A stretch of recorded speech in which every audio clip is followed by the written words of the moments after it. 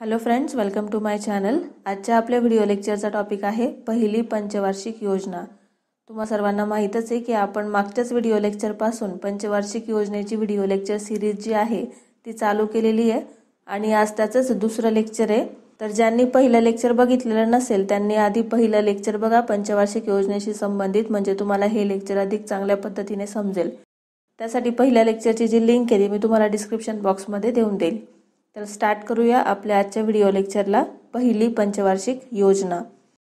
तर सर्वात आधी मी तुम्हाला सांगून देते की पंचवार्षिक योजनेबाबतीत जे क्वेश्चन आहे ते एक्झाममध्ये कंपल्सरी विचारले जातात. म्हणजे ज्या काही बारा पंचवार्षिक योजना झाल्या आणि तसंच ज्या काही वार्षिक योजना झाल्यात त्यांच्यापैकी तीन क्वेश्चन्स तीन प्रश्न जे आहे ते कंपल्सरी असतातच परीक्षेमध्ये. त्याच्यामुळे हा जो टॉपिक आहे हा स्किप बिलकुल करायचा नाही आहे त्याच्यामुळे आपण हा जो टॉपिक आहे परीक्षेच्या दृष्टीने कम्प्लिटली अभ्यासणार आहोत. तर बघा पहिली जी काय पंचवार्षिक योजना आहे तिचा कार्यकाळ काय होता? तर एक एप्रिल एकोणीसशे एक्कावन्न ते एकतीस मार्च एकोणीसशे छप्पन्न असा त्याचा कार्यकाळ होता. ह्या योजनेचा जो मुख्य भर आहे तो कृषी क्षेत्रावर होता. ठीक आहे पहिल्या पंचवार्षिक योजनेचा मुख्य भर कशावर होता? कृषी क्षेत्रावर होता. याचं जे प्रतिमान आहे ते हेरॉड डोमर असं आहे. आता खर्च बघा प्रास्ताविक खर्च किती सांगितलेला होता? तर दोन हजार तीनशे अठ्ठ्याहत्तर कोटी रुपये. पण वास्तविक खर्च किती झाला तर एक हजार नऊशे साठ कोटी रुपये. म्हणजे जेवढे पैसे ठरवलेले होते की एवढे खर्च होतील तेवढे खर्च नाही झाले त्याच्यापेक्षा कमी खर्च झाले. या योजनेचं उपनाव आहे पुनरुत्थान योजना. काही वेळेला एक्झाममध्ये उपनाव सुद्धा विचारलं जातं त्याच्यामुळे ते सुद्धा लक्षात ठेवायचं आहे या पंचवार्षिक योजनेचे जे अध्यक्ष होते ते पंडित जवाहरलाल नेहरू होते. ते त्यावेळेला पंतप्रधानही होते. आणि उपाध्यक्ष होते ते म्हणजे गुलझारीलाल नंदा. पुढे बघा या योजनेचा सर्वात जास्त खर्च जो आहे तो कृषी क्षेत्रावर झालेला आहे. जसं आपण मागेच बघितलं या योजनेची जी मुख्य भर होती ती कृषी क्षेत्रावरच होती आणि त्यामुळे सर्वात जास्त खर्च जो होता तो कृषी क्षेत्रावरच झाला. एकूण खर्चापैकी एकतीस टक्के खर्च हा एकट्या कृषी क्षेत्रावर झालेला होता पहिल्या पंचवार्षिक योजनेमध्ये. त्यानंतर ह्या योजनेचे उद्देश बघा काय काय होते? तर दुसऱ्या महायुद्धामुळे विस्कळीत झालेली अर्थव्यवस्था सावरून आर्थिक समतोल साधणे रोजगार निर्मिती राहणीमान उंचावणे चलनवाढ व त्यावर नियंत्रण आणणे हे तीन मुख्य उद्देश होते. त्यानंतर काही प्रकल्प हाती घेण्यात आले. ह्या योजनेच्या काळादरम्यान तर ते प्रकल्प कोणते कोणते होते? एकूण दहा प्रकल्प महत्त्वाचे तेवढे आपण बघू. आणि मागचे जे काही प्रिलिम किंवा मेन्सचे जे क्वेश्चन पेपर तुम्ही बघितले तर त्याच्यामध्ये ह्या बाबतीत क्वेश्चन हा विचारला गेलाय.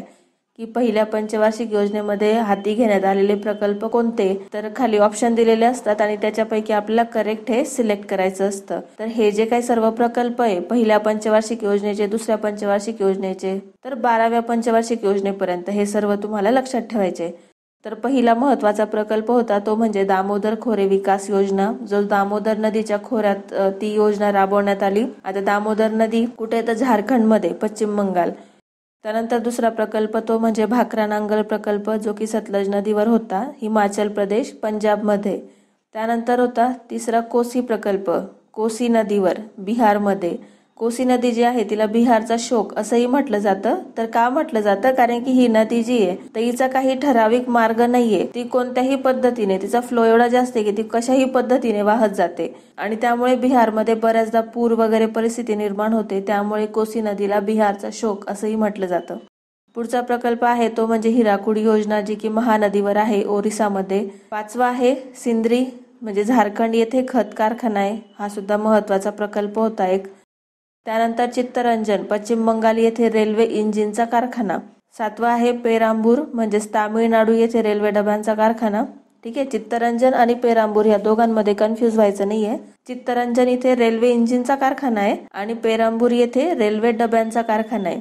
त्यानंतर आहे बघा एच एम एल म्हणजेच हिंदुस्तान मशीन टूल जे की बँगलोर येथे उभारण्यात आलं.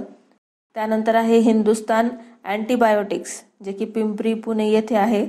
एकोणीसशे बावन्नपासून समुदाय विकास कार्यक्रमाची सुद्धा सुरुवात करण्यात आली. तर हे दहा प्रकल्प लक्षात ठेवायचेत याच्यावरती प्रश्न हा कंपल्सरी असतो म्हणजे असतोच. त्यानंतर पुढे बघू मूल्यमापन. योजना यशस्वी झाली कारण दोन गोष्टी होत्या. एकतर योजनेचा कालावधी हा मान्सून अनुकूल होता आणि दुसरं म्हणजे योजनेची लक्ष कमी होते. योजनेचं मुख्य लक्ष काय होतं? तर कृषी क्षेत्रावर भर. हे मुख्य उद्देश होता. आणि कृषी क्षेत्राच्या दृष्टीने जर विचार करायला गेलं तर जो काय कालावधी होता तो सुद्धा मान्सून अनुकूल होता. आणि त्यामुळे बऱ्याच कारणांमुळे ही जी काही योजना आहे ती यशस्वी ठरली. अन्नधान्याचे उत्पादन बावन्न पॉईंट दोन दशलक्ष टनांवरून पासष्ट पॉईंट आठ दशलक्ष टनांपर्यंत वाढलं. मोठ्या प्रमाणात जलसिंचन व पायाभूत सोयींना सुरुवात झाली. त्यानंतर बघा आर्थिक विकासाचा दरही जो काय आहे तो सुद्धा बऱ्यापैकी वाढला तर संकल्पित दर किती होता की दोन पॉईंट एक टक्के आणि साध्य किती झाला तर तीन पॉईंट सहा टक्के. म्हणजे जेव्हा योजना तयार केली गेली त्यावेळेला विकासाचा दर हा दोन पॉईंट एक टक्के वाढेल असं सांगण्यात आलं पण तो साध्य किती झाला तर तीन पॉईंट सहा टक्के. म्हणजे जवळजवळ दुप्पट वाढ झाली आणि त्याचमुळे ही योजना यशस्वी ठरली. योजनेच्या शेवटी राष्ट्रीय उत्पन्न अठरा टक्क्यांनी तर दरडोई उत्पन्न अकरा टक्क्यांनी वाढलं. तसेच किमतीचा निर्देशांक तेरा टक्क्यांनी कमी झाला. आता बघा इथे काही शब्द दिले जसं राष्ट्रीय उत्पन्न दरडोई उत्पन्न किमतीचा निर्देशांक. आता हे सर्व काय तर हे आपण पुढच्या लेक्चरमध्ये जेव्हा त्याचं सेपरेट लेक्चर घेऊ आपण तेव्हा हे मी तुम्हाला समजावून सांगणारच आहे. तर आता फक्त एवढंच लक्षात ठेवायचं की पहिली जी काही पंचवार्षिक योजना होती त्याच्यामध्ये राष्ट्रीय उत्पन्न हे अठरा टक्क्यांनी वाढलं दरडोई उत्पन्न अकरा टक्क्यांनी वाढलं.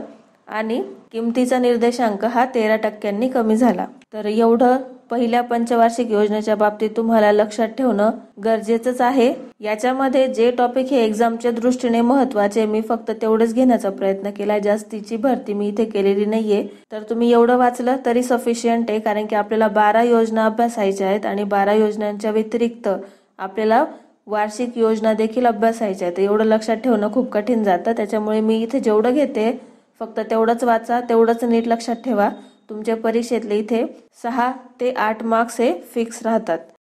तर आजचं व्हिडिओ लेक्चर आवडलं असेल तर प्लीज लाईक करा. काही शंका असेल तर कमेंट करा आणि आपल्या फ्रेंडसोबत शेअर करायला विसरू नका. तसंच तुम्ही नवीन असाल तर चॅनलला सबस्क्राईब करा आणि बेल बटनवर नक्की क्लिक करा. जेणेकरून तुम्ही माझे नवीन येणारे जे व्हिडिओ आहे ते बघू शकतात. धन्यवाद.